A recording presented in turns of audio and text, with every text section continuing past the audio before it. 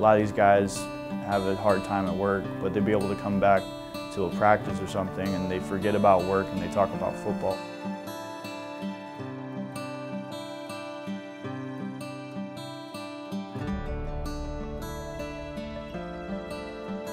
Okay, Sergeant Macgibbon, uh, 9th ESB.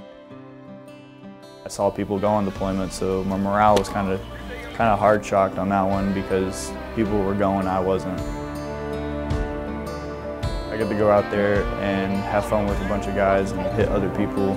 I'm able to do it on the football field and get some of that stress out of me.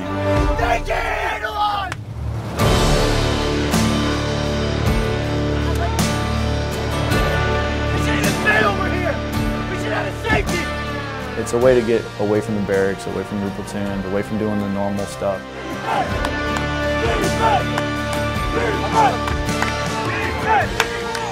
Unfortunately, he left to go back to the state.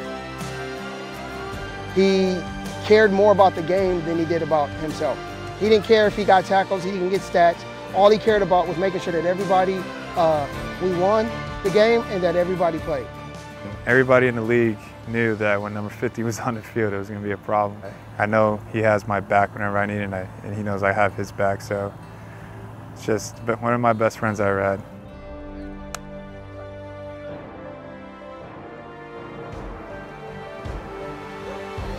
With uh, your helmet, your pads, you're going out there to go fight somebody else. You're going to go hit somebody. Score the ball. Now finish it right here. Nothing behind you. Say not waste time pretty hard being stuck on an island for two years. Kind of relieves stress and it also helps morale.